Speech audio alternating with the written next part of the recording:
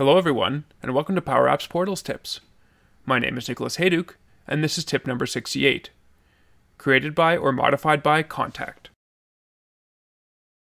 A common request when using entity forms or web forms is to capture information about who submitted the form. Administrators familiar with Dynamics 365 or model-driven apps are also already probably familiar with the created by and the modified by attributes that are automatically set for all records created in CDS.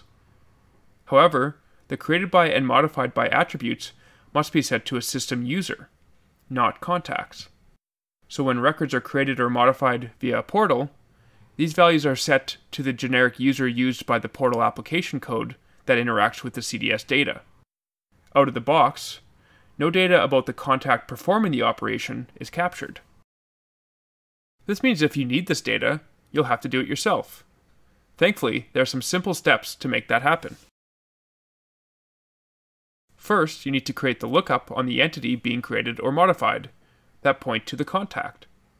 Again, since this is not out of the box, these will need to be a custom relationship.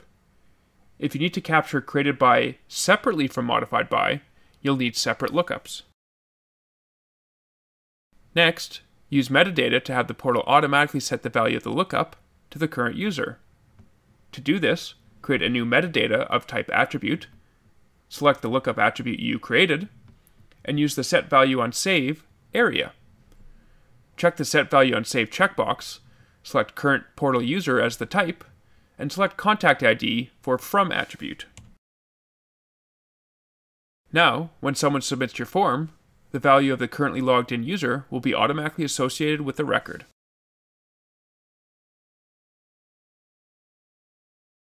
Note that if you only care about the insert case, you can use the Associate Current Portal User on Insert section that appears directly on the entity form or web form step setup, instead of metadata. However, these fields do not apply for editing records. Thanks for watching, and I hope you found Power Apps Portals tip number 68 on created by or modified by contact useful.